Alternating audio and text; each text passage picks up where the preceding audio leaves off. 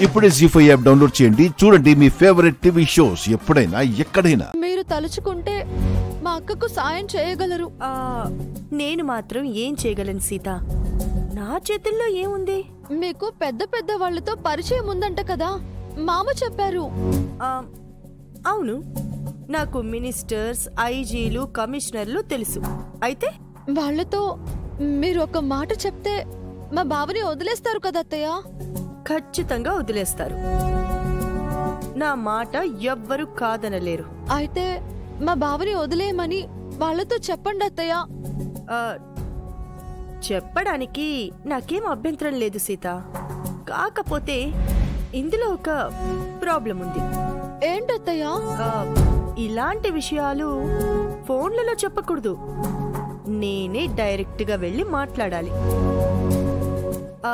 ఇప్పుడు నేను మీ పల్లెటూరు వెళ్ళి మీ అక్క కన్నీళ్ళు తుడిచాని అనుకో. చూసిన వాళ్ళందరూ ఏమనుకుంటారు?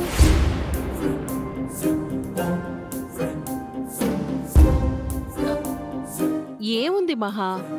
మొన్న పేపర్లో రామ్ మధుమితల ఫోటో పడింది కాబట్టి మధుమిత నీ కోడలే అనుకుంటారు.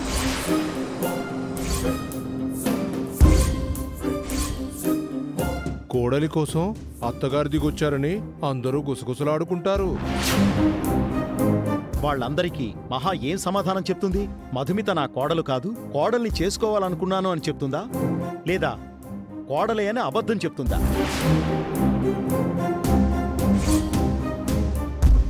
అలా చెప్తే పిన్ని పరువు పోతుంది. మళ్ళీ అదో పెద్ద బ్రేకింగ్ న్యూస్ అవుతుంది. విన్నావు కదా సీత?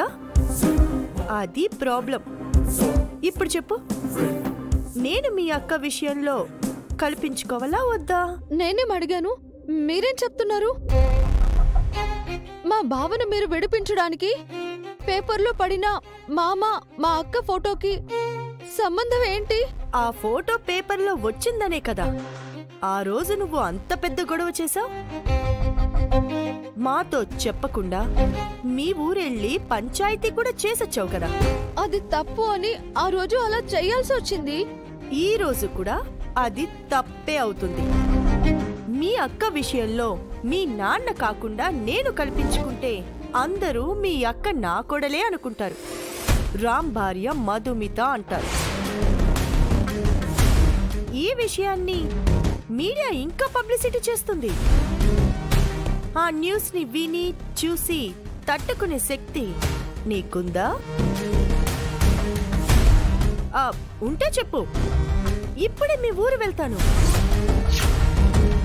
మన మధ్య మళ్ళీ ఎలాంటి మిస్అండర్స్టాండింగ్లు ఉండకూడదు సీత. అందుకనే నేను చెప్తున్నా నేను క్లియర్గా ఉన్నాను. నువ్వు రెడీగా ఉన్నావా? చెప్పు.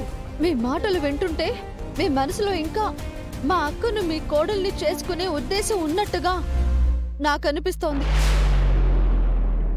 అవకాశం దొరికింది కదా అని దాన్ని వాడుకోవాలని చూస్తున్నట్టుగా ఉన్నారు.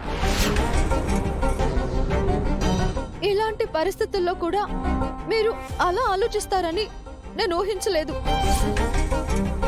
ఏదో మామ చెప్పారు కదా అని మా అక్క కోసం మిమ్మల్ని అడిగాను. మీ ఉద్దేశం తెలిసాక నాకు మీ సహాయం అక్కర్లేదు. నాకు తోచిన ప్రయత్నం నేను చేస్తాను.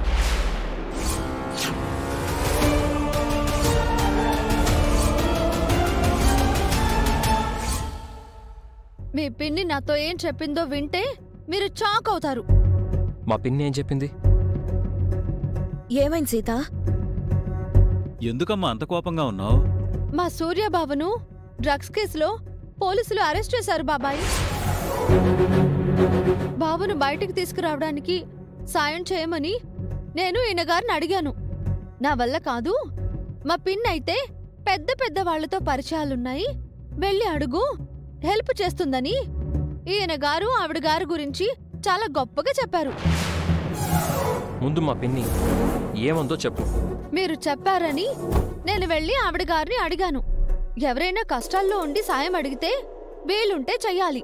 లేకపోతే కుదరదు అని చెప్పాలి.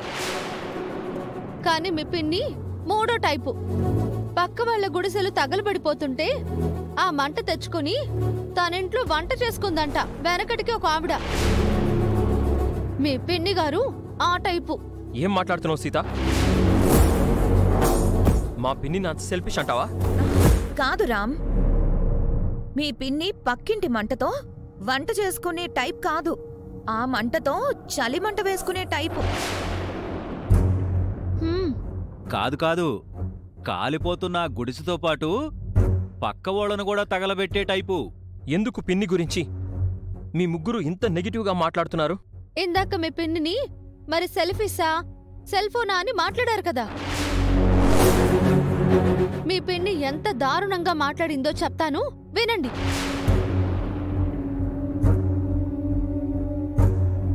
అందరూ మీ అక్క నా కొడలే అనుకుంటారు.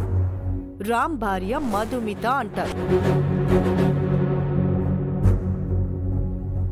లేదు. మా పిన్ని అలా మాట్లాడిందంటే నేను నమ్మను. తను అలాగే మాట్లాడుతుంది రామ్. తను ఎలాగైనా మాట్లాడగలదు.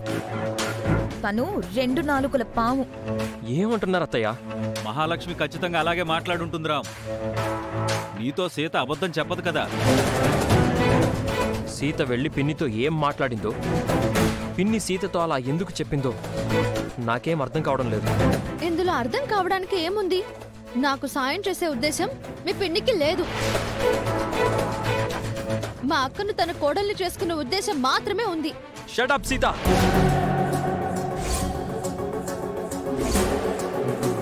మా పిన్ని మరీ అంత దారుణంగా ఆలోచించదు. పిన్ని గురించి ప్రతిసారి నువ్వు నెగిటివ్గానే చెప్తున్నావు. సీత చెప్పింది నిజం రామ్ ఆవిడ మనసులో అలాంటి ఉద్దేశమే ఉంది. నేను నమ్మనత్తయ్య నువ్వు నమ్మవని మాకు తెలుసు రామ్ కానీ నువ్వు నమ్మి తీరాల్సిన పచ్చి నిజమిది.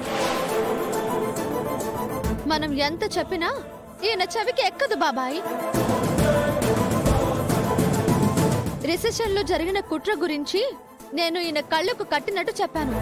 కానీ ఈయన నమ్మలేదు. పైగా నన్ను తప్పుపట్టారు. ఆ రోజు జరిగిన దానికి నేను ప్రత్యక్ష సాక్షిని రామ్. ఆ కుట్ర గురించి ఆ రోజు నీకు చెప్పాలనుకున్నాను. నీకు చెప్పడం కుదరలేదు. సీతకు చెప్పినా నమ్మలేదు. ఆ రోజు ఏం జరుగుతుందో నాకు సరిగ్గా తెలియకపోయినా మీ పిన్ని ఏదో చేయకూడదు చేస్తుందని మాత్రం నాకు అనిపించింది రామ్ సీత చెప్పాక అసలు విషయం తెలిసింది. మీ ముగ్గురికి ఏమైంది? ఎందుకు నన్ను పొల్యూట్ చేస్తున్నారు? పిన్ని మీద లేనిపోని చాడీలు ఎందుకు చెప్తున్నారు? రోజు జరిగింది వదిలేయండి. ఈ రోజు ఈ పరిస్థితుల్లో మీ పిన్ని అలా మాట్లాడటం కరెక్ట్ కాదు కదా? మా పిన్ని అలా మాట్లాడి ఉండదు. అంటే కావాలని నేనే కల్పించి చెప్తున్నాను అంటున్నారా? మీకు అంత అనుమానంగా ఉంటే వెళ్ళి ఆవిడ్ని అడగండి. అడుగుతాను. ఇప్పుడే వెళ్ళి పిన్ని దగ్గర అన్ని విషయాలు తేల్చుకుంటాను. నువ్వు కూడా నాతో రా. జీ ఫైవ్ యాప్ డౌన్లోడ్ చేసి అన్ని ఎపిసోడ్స్ పూర్తి ఉచితంగా చూడండి.